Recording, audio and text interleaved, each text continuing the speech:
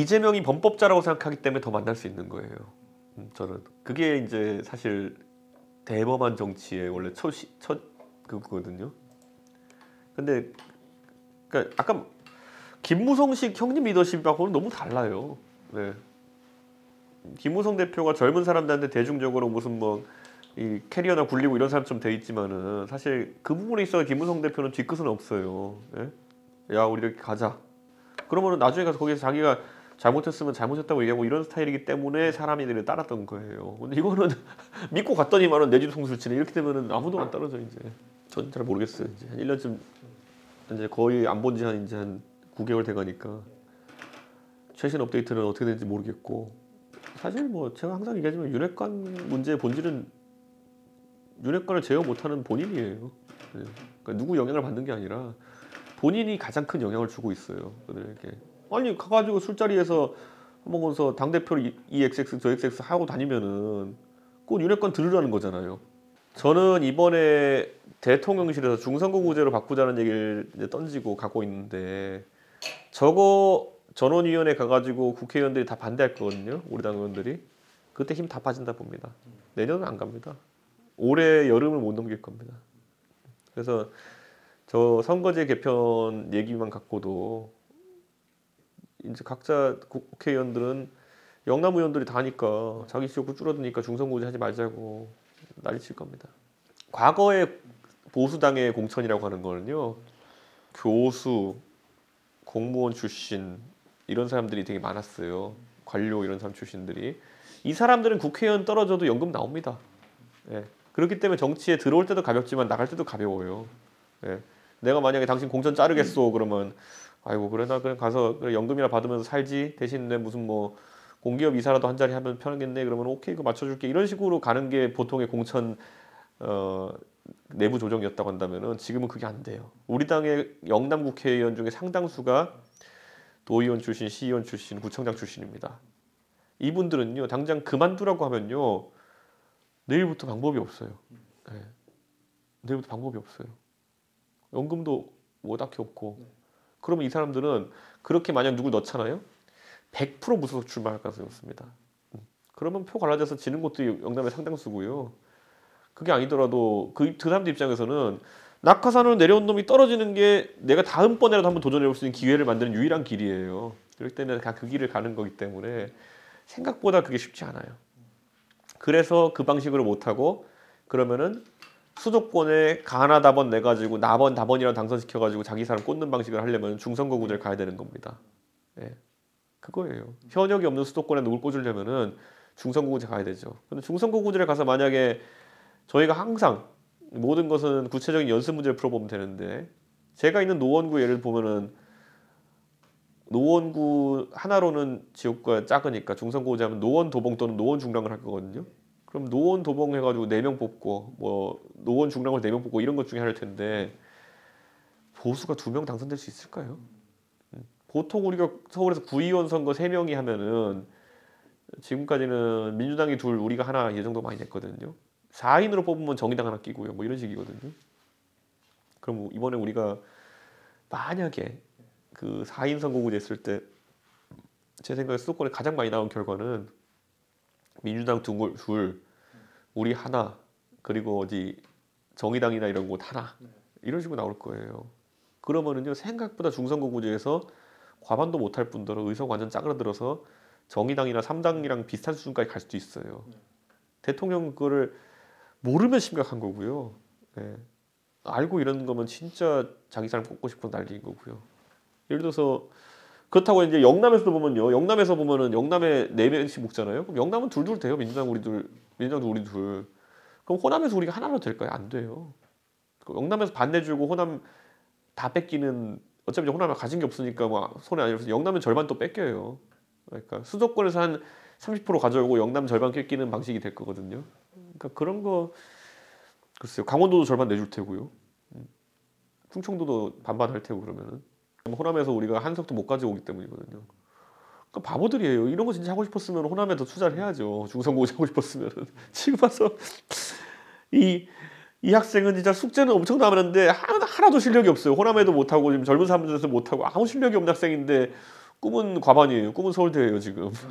이 학생은 어떤 과목도 지금 하나도 제대로 되는 게 없는데 꿈은 서울대라니까 지금. 네, 뭐 모든 것을 제가 계속 ABL이라 얘기하지만 Anything but 이준석이라고 모든 것은 이준석이 랑 부정해야 되기 때문에 호남도 무슨 투자를 하면 안 되고 젊은 사람들한테 투자를 하면 안 되고 그래가지고 어, 무슨 맨날 무슨 간첩 잡겠다 그러고 앉아 있고 그 궤도에서 못 벗어나면요 영원 영원히 보수정당 집권 못해요. 예.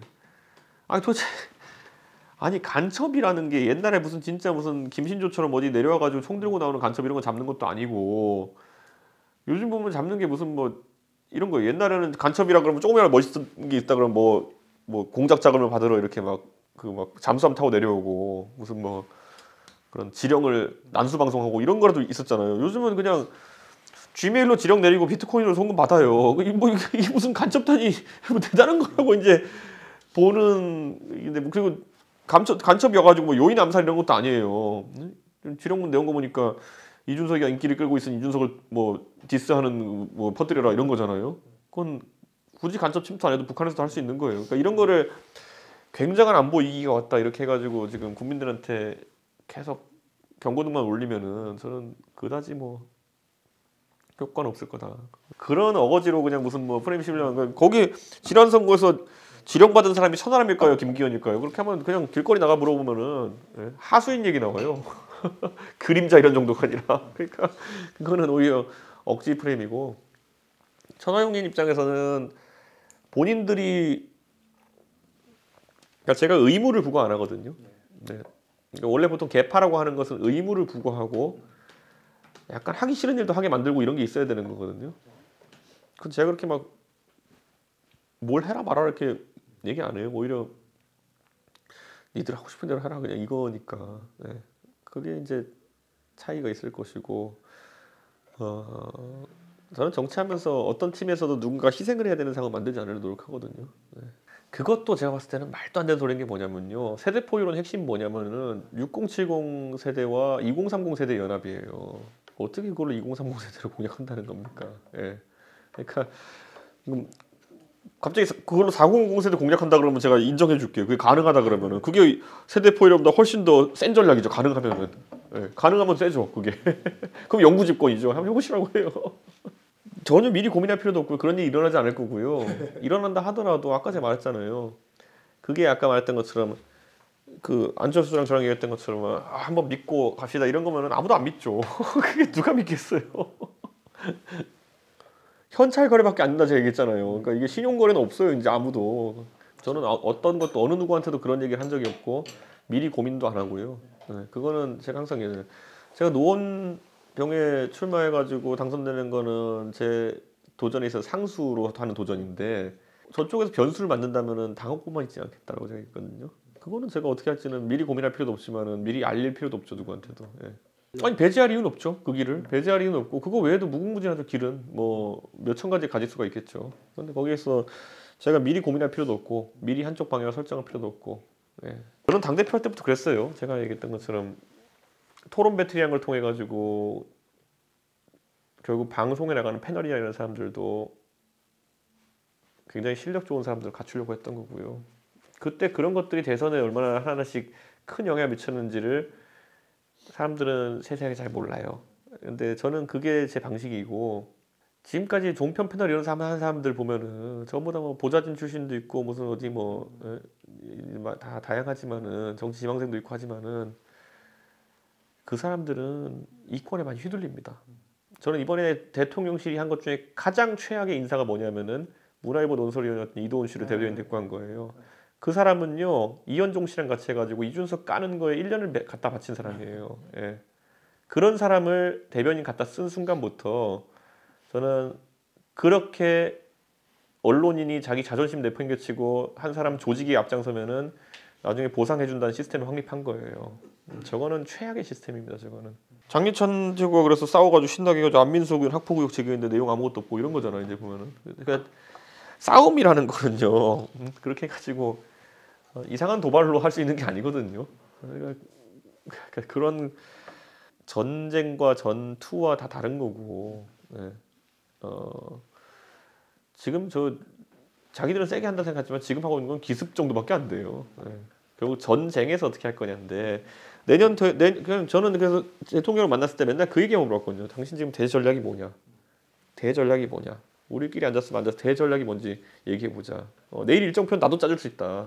내일 당신 어디 가는 거 그냥 폼나는 일정표 기술적인 부분 나도 해줄 수 있다. 바로 지금 즉석으로. 근데 대전략이 뭐냐? 그 질문을 한 번도 답을 듣지 못했어요. 대전략이 뭐냐? 대선 기간 내내. 지금도 총선 앞두고 사람들이 알아듣 게 뭐냐면요. 계속 물어봐야 돼요. 그 지도부나 아니면 이런 데 영상에다가 대전략이 뭐냐? 누구 표를 받아서 선- 선거하겠다는 거냐? 답 못할걸요? 누구 표를 받아서 선거하겠다는 건지 또 작전이 없으니까 전술은 더 산발적이죠. 지금 이거 뭐 간첩 잡아서 누구 표를 받겠다는 거냐? 간첩 잡아서 누구 표를 받겠다는 거냐에 있어서 인과관계가 전혀 없을 거예요 지금.